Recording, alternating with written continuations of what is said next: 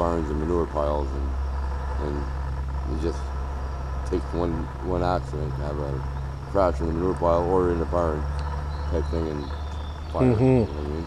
We already had one fire now. We lost four Mother's Day. You lost four horses here on Mother's Day. Yeah. Oh, jeez. I still. Is, is, is that hot? This? Yeah. No. Well, I don't have a cigarette going, but I could put a cigarette on my finger right there for three minutes before I start getting any feeling. Yeah, this one here and this one. Like uh, I got burned in the barn. So I rescued the horses. So. Jeez. If no one else got hurt. You can you can check check me out on video or on uh, online. It has it. Oh, okay. Is uh, Mr. Uh, Watermaker over there. Uh huh. He knew 20 minutes before anybody that the barn was on fire. Didn't do nothing. He wanted. He stood on his little slide over there Yeah. with his camera, Taking pictures. whole, watching the whole thing on. Well, can't say a video. I don't know what you really call it nowadays, but. Uh,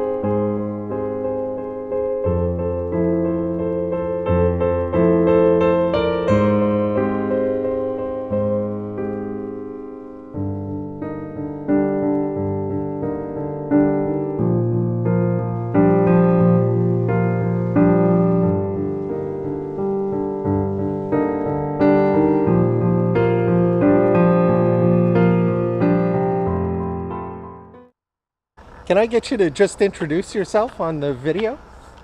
Why? Oh, come on. Uh, This is Rick. Rick uh, is the caretaker here at the racetrack in Kingston, and he's given me permission to come and do some flying here.